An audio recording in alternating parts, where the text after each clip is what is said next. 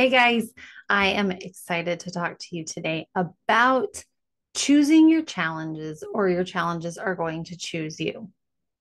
So, I heard about this last year at the beginning of last year.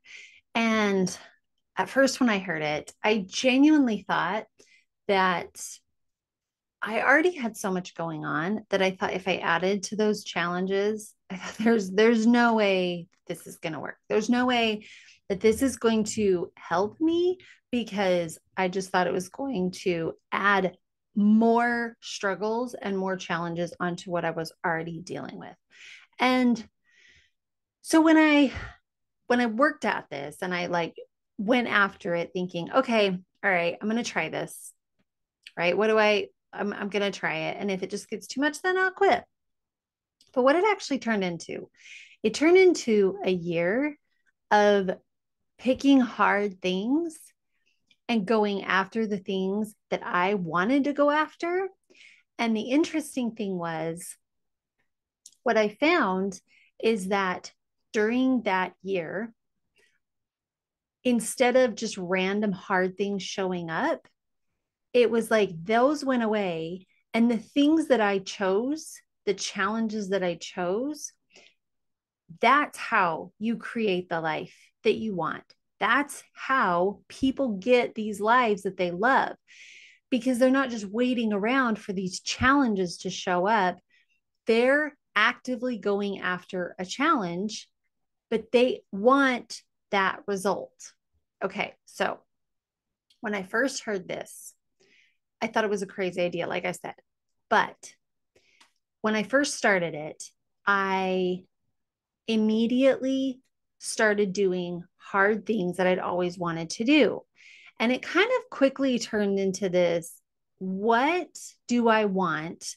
And what what do I want? And what sounds like what is the awful way to get it?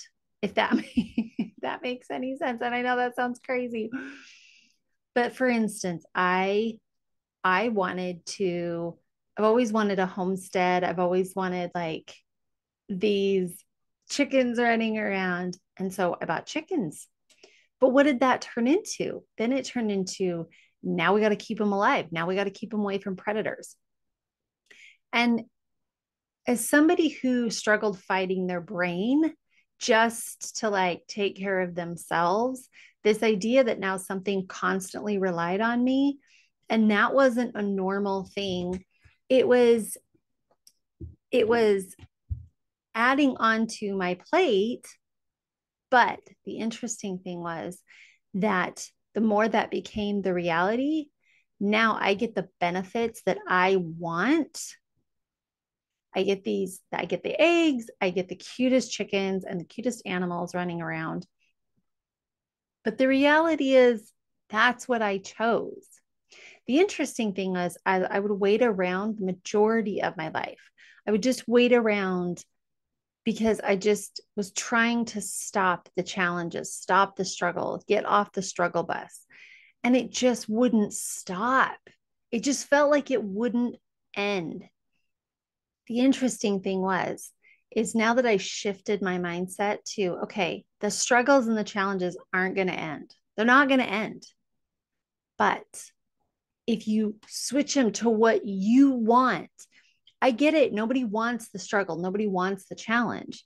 But if you change it to, okay, at the end of the struggle, I will get this result, I will get this action happening in my life, I'll get this thing in my life.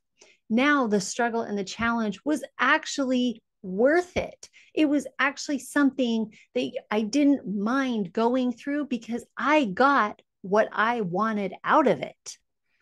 When I was just waiting around, these struggles would happen. Okay, maybe I grew and maybe I learned something, but it wasn't something I was that passionate about. It wasn't something that I was that excited about that it was like, okay, I learned this about myself, or I, okay, now I know how to do this thing. And it was like, yay, that's cool. But at the same time, I was like, I don't really care. But when I started changing it to going after the challenges I wanted, now I actually enjoyed the journey. I had listened and heard forever how you hear that saying, enjoy, you know, enjoy the journey. You know, it's not about the destination, it's about the journey. I could never grasp that. I could never understand what people were talking about. I could never comprehend how they were enjoying these hard things in life. And people were like, oh, I love the struggle. Oh, I love it when hard things show up. Couldn't understand that. After choosing my challenges instead of letting my challenges choose me, I totally get it. I totally get it. Now, let me kind of go through the steps with you on what happens. First of all, you have this great idea. If you're like me, you have this great idea and you're like, I'm in, I'm going to do it. This is awesome. And then the excitement wears off. and to be honest, it was not fun. The reality of now you have to go after these struggles. The thing was is I thought I thought I was going to enjoy it because it was something that I wanted. Nope. Mm-mm. At first I didn't enjoy it. So that's kind of step 1 or the, well, step one is you think you're going to enjoy it or you think you're excited about this idea. Then step two is you really realize it's a struggle and it's a challenge and it's not the funnest idea. Mainly because I found that I was also still dealing with stuff that had come into my life when I wasn't choosing my challenges. So I'm still kind of cleaning up the mess of when I was just being tossed and turned and not really having a direction. So you kind of have to do this cleanup. But then is what I noticed is at some point you're going to get a result from that challenge. And that result, you're going to have this eye opening experience. At least I did, where I thought, I went through a challenge and I got an amazing result. And I liked that result. And that challenge was worth the result I got. And then if you keep doing this, eventually it, it didn't take me very long, but eventually now I've gotten to a point where I am actively seeking challenges that I want because I see it getting me closer and closer and closer to the life I want to create. So at first, I may have picked something that it was kind of a test. And now I'm going, okay, okay, what what can I get bigger? What can I make better? What are even harder challenges? Because that'll get me an even bigger result.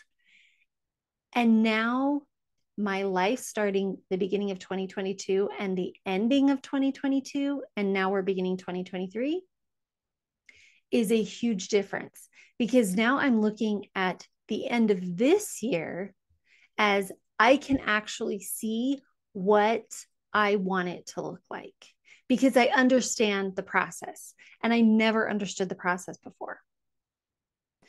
So I really hope you guys can really grasp onto this concept of choose your challenge rather than having your challenges choose you because it is the best thing I have ever done. It's not easy at first, and I grasp that concept. I grasp that it's not a fun thing to think about because you're probably, if you're fighting your head, you're probably already dealing with a whole lot that's going on. But the second you start choosing your challenges, those ones start whittling away and going away because you're actively going after the things that you want to go that you don't even have time. They just don't even show up. And I'm not saying that never, they'll never show up because there are hard things in life. There's there's deaths, there's, you know, things that we don't quite plan on that can be really hard. But once you get past those things, those things are for a short period of time, or they should be. They should be for a short period of time. And once you get past those, now you just get right back on to choosing your challenges. Okay, what does life look like after that really hard experience. All right, now what do you want it to look like? Anyways, I trust that this information was helpful. And, um, you know, as always, subscribe, hit the notification button if you guys want to be notified of when the next um, podcast or um, video is going to be up. So, love you guys. See ya.